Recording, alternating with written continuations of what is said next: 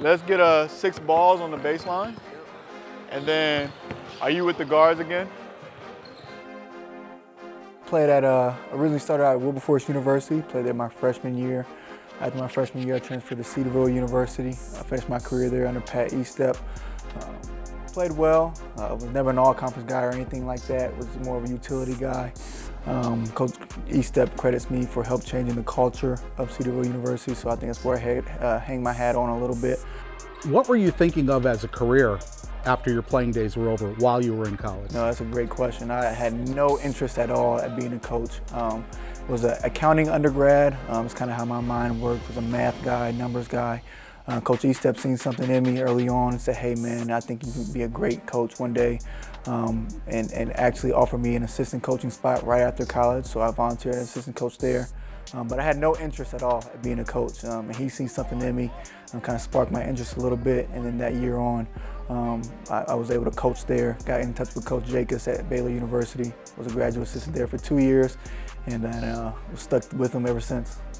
Um, I, at Baylor, I, I, got my MBA, my Master of Business Administration, one of the only GAs for the men's basketball team to get his MBA. Um, my thought process was, um, again, was an accounting undergrad. It's kind of how I worked, kind of how I operated. And if I was going to go to school, I wanted to get something that's going to push me further my career long term outside of basketball. So I got my MBA, Master of Business Administration. Ice, ice, ice! Pull, pull, hang! Get him over here. You see the hang dribble? Let it hang in that hand.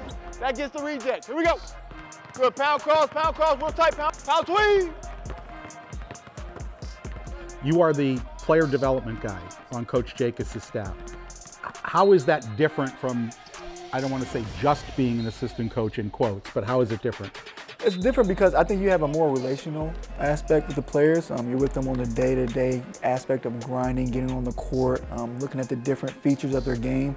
Um, whereas an assistant coach, you're more looking holistically. Whereas director of player development, you're individually based. Okay, how can that player get better? What are their strengths and weaknesses? Nice, good pace, Kale. Good pace, Kale. Ice it, ice it, ice it. Good, rebound. Good. Yes, sir. Yes, sir.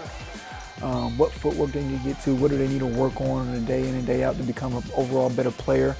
Um, I think it's just more individual based, more relational, one-on-one, um, where you're looking at um, how, can, how can that player grow, um, both on the floor and off the floor, where you want to get a relationship with them. Um, so it's just a little different in that aspect where you're more individual. How can that individual player get better?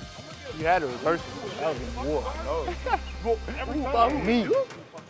Stop it. You know, my history with Coach Jakus, I know what he wants in players, especially as a guard, or pretty much all players. I know what he's looking for.